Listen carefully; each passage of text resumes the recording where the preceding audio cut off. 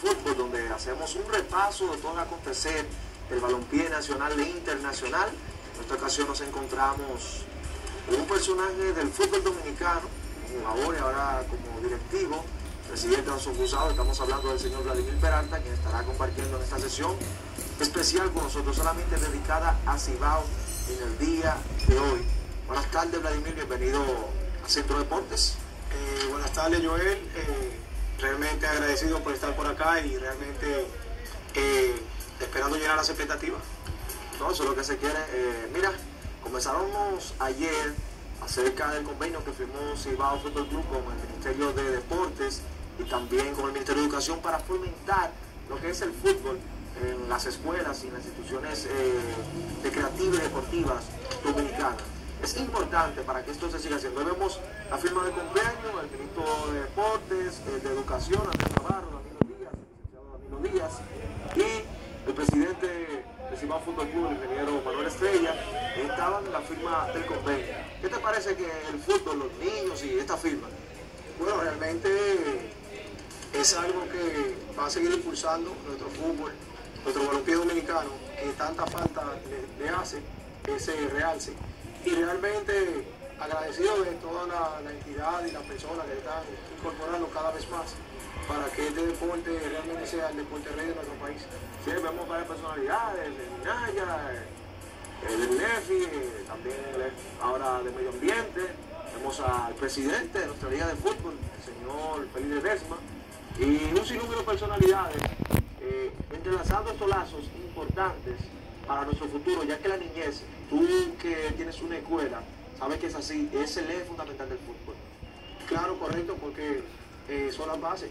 Y si venimos fomentando las bases y haciendo las cosas bien desde el primer peldaño, entonces podemos llegar a los altos niveles que, se requieren. Vamos entonces con las imágenes del partido. Eh, muchas personas ayer pensaban que era una goleada, pero no, señores. Yo también creo que fue, perdimos 1 por 0. Con ese gol agregado, vemos los capitanes.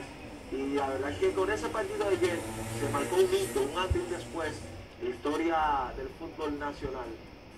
Vladimir, ¿tú crees que en la historia de nuestro país, de clubes, nunca hemos tenido un partido tan importante? Nunca hemos tenido un partido tan importante, fue un resultado que realmente nos alegró bastante a los dominicanos, yo, yo apuesto que sí, y que por otro lado dejó un poco de sufrimiento a los mexicanos, ya que ellos también esperaban eh, haberlo hecho una goleada. Pero realmente eh, nuestros jugadores se impusieron, eh, vimos ahí como cada pelota repartida ellos la pelearon siempre y realmente le jugamos de tú a tú, como uno dice. Que eso era lo que se andaba buscando.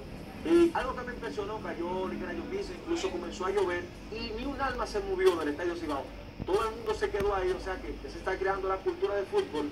Y las personas que dicen que el balompié dominicano solamente lo sigue tres gaticos, ahí estaban los tres gaticos multiplicados eh, por mil cada uno, digamos, 10 mil personas a toda su capacidad. Ayer Estadio Cibao remozado totalmente. La verdad que cuando uno llegaba las luces, el fanfest, la festividad, todo lo que había, no se sentía como en Europa o fuera del país, eh, la organización de los partidos. ¿Qué te pareció esta remodelación del Estadio Cibao en su totalidad? Correcto, bueno, eso fue algo impresionante, realmente así como tú lo expresas. Eh, ese ambiente futbolístico se vivió, se vivió como se vive en cualquier país. Eh, nosotros realmente estamos muy agradecidos porque eh, no importa dónde haya ocurrido esto, en Cibao, en la capital, en San Francisco, donde quiera, fue la fiesta del fútbol y la vivimos todos. Y todos ayer, todos fuimos Cibao FC ayer. Eso es, todos fuimos de rana.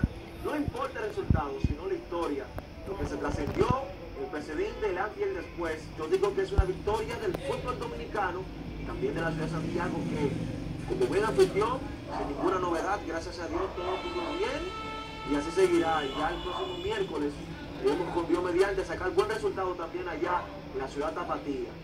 Ahora vamos aquí para hacer un breve conversatorio con el señor Vladimir Peralta. Vlad, y primeramente felicitarte por tu acogencia como presidente de la Asociación de Fútbol de Santo Domingo Este. Cuéntame, ¿qué, ¿qué, tal fue el proceso? Eh, ¿Qué te inspiró a, aspirar ya luego de ser dirigente del club y eso? Bueno, eh, como ya venía diciendo siempre, el fútbol eh, necesitaba siempre de un pequeño empujoncito allá en Santo Domingo Este.